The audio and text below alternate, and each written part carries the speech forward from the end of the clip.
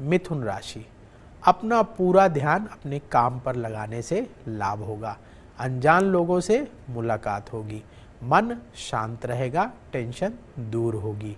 आर्थिक स्थिति बेहतर होगी। शुभ रंग केसरिया। उपाय, ओम नमः शिवाय का रुद्राक्ष की माला से 108 बार जाप करें।